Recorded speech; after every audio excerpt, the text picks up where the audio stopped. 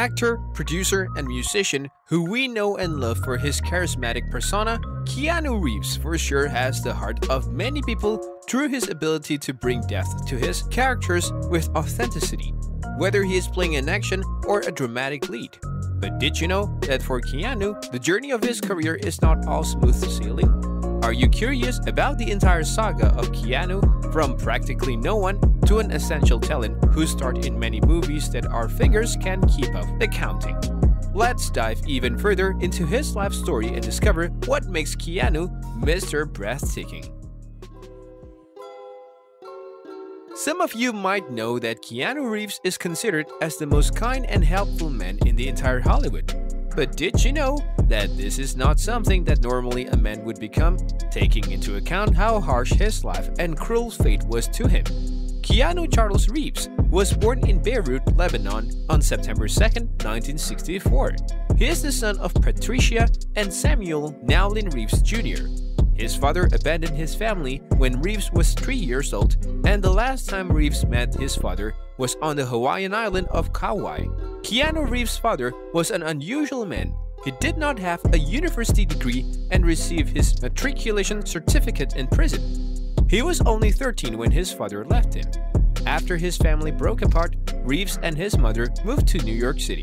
In New York City, his mother married another man named Paul Aaron, a Hollywood director in 1970. After that, they moved to Canada and his parents got divorced again in 1971. The year is now 1976. His mother married for the third time with Robert Miller, a rock music promoter, and ended her marriage again in 1980.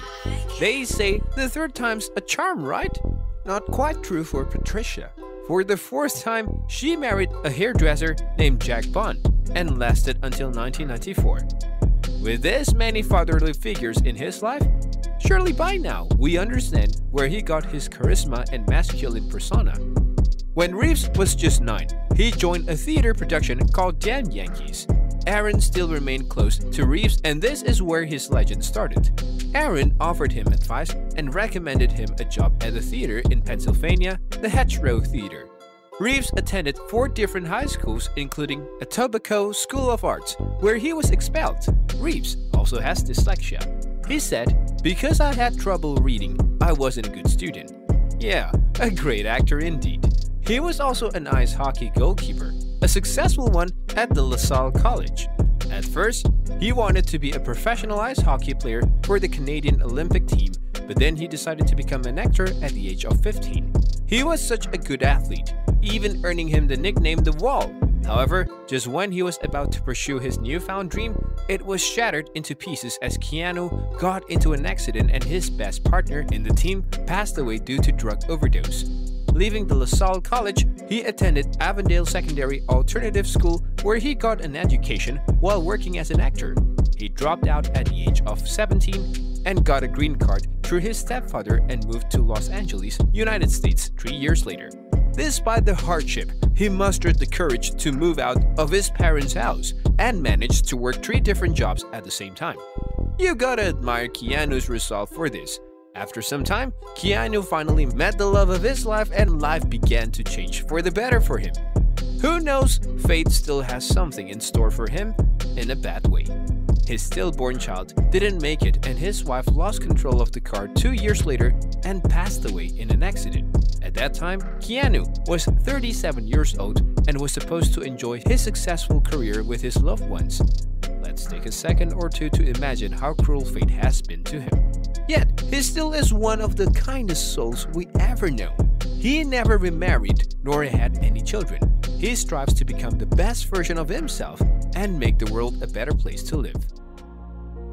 Reeves started his career at Canadian Broadcasting Corporation program called Going Great, and at the same year, he made his acting debut in the television series Hangin' In. He got more roles in TV movies and shows like Youngblood, River's Edge, and Under the Influence. And in two years, Reeves also appeared in a number of movies, including Dangerous Liaisons, Bill and Ted's Excellent Adventure, and In Parenthood by Ron Howard. A lot of screen time for a young lad. 1991 is the year where Reeves started his adult roles. He starred in Bill and Ted's Excellent Adventure sequel, Bill and Ted's Bogus Journey. Before Reeves became an action star, he made several disappointing movies and he starred in Speed as a bomb expert. But then again, Reeves appeared in films that didn't go well with critics and moviegoers, including Johnny Mnemonic, A Walk in the Clouds, and Feeling Minnesota. He came back with a successful film called The Devil's Advocate, where he played as a lawyer that falls under the spell of the devil. In 1999, he stepped up his career with the all-time favorite sci-fi cult, The Matrix. The franchise successfully launched two sequels in 2003. Following his overflowing passion, Reeves tried more diverse roles in various genres, and this time, he appeared in a sports movie called The Replacement and Hardball. It doesn't stop here. He only expanded his acting portfolio by participating in a romantic comedy movies as supporting roles, such as Something's Gotta Give and Thumbsucker. In Constantine, a movie by DC Comics, Reeves appeared as a demon hunter, and in Henry's Crime, he appeared as a bank robber. In 2013, Reeves finally started his directorial debut with Men of Tai Chi and starred himself in that movie at the same time. Now, that's multitasking at its finest. If you think that's all, you are dead wrong, folks. There is one movie that I haven't mentioned so far, and it is arguably the best movie starring the one and only Keanu Reeves. Say it with me John Wick. We all love to see Reeves in action, and there is no other way to appreciate such things other than watching this movie And guess what? John Wick 4 is finally coming our way, so keep your eyes peeled on for this one. After the first sequel of John Wick, he later played At the Whole Truth, To the Bone, Destination Wedding, and Always Be My Maybe. He returned to his first career starter, Bill and Ted Face the Music, and finally in 2021, he returned to play the role of Neo in The Matrix Resurrections. What a career! And he still is not showing any signs of stopping living up to his name as someone who is able to bring any character to life, Keanu put his all into every role that he was assigned for. His most notable and inspiring performance was his preparation into bringing the character John Wick to life, which became a masterpiece among other roles he had before.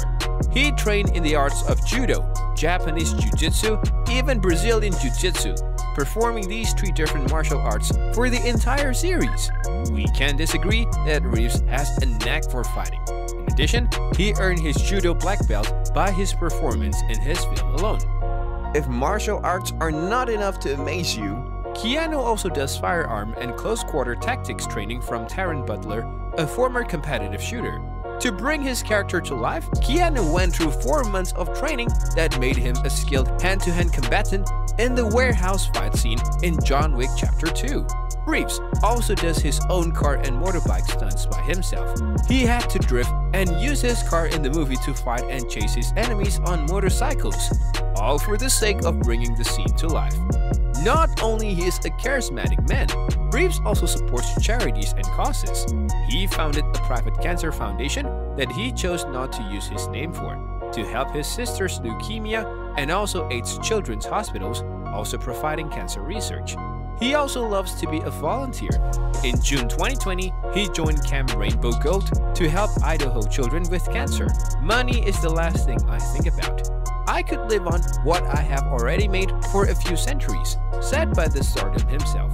Reeves is one of the founders of a publisher called X Artists Books. He also has written two books named Ode to Happiness and Shadows. Reeves also owns several companies, a production company called Company Films with his friend Stephen Hamel, and an ARCH motorcycle company, which is also his hobby for motorcycles. Keanu Reeves is a man who greatly deserves our respect and admiration. Such a selfless person, despite his past trauma and tragedy. A beautiful soul with a big heart. Imagine how great of a place this world would be if everyone has a little bit of Keanu in themselves. What do you think of Keanu? Does Mr. Breathtaking sparks an inspiration in you? Let us know in the comments below. And if you like our videos, don't forget to subscribe and leave a like on this video. That's all for now, and I'll see you guys on our next drop.